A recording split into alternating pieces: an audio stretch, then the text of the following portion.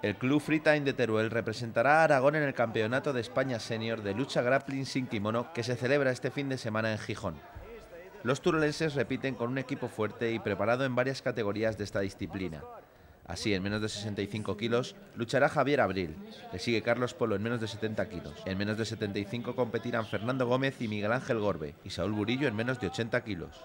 Asimismo, Carlos Polo y Saúl Burillo se enfrentarán sobre tapiz y en su misma categoría a nuevos adversarios en el primer torneo oficial de Combat Grappling, una nueva disciplina amateur de las artes marciales mixtas que consiste en aplicar derribos y las mismas técnicas de control y sumisión en suelo al rival, pero con la particularidad de que ambos grapplers llevan protecciones en manos, espinillas y cabeza dado que se permiten puños, patadas y codos. Cabe destacar que tanto Carlos Polo como Javier Abril han participado en el último campeonato del mundo de lucha grappling celebrado en Polonia, donde Polo consiguió un quinto puesto que le valió para luchar en los primeros Juegos Sport Accord de Artes Marciales de Pekín. El turolense también ostenta el título de subcampeón de España de grappling sin kimono y campeón de España con kimono.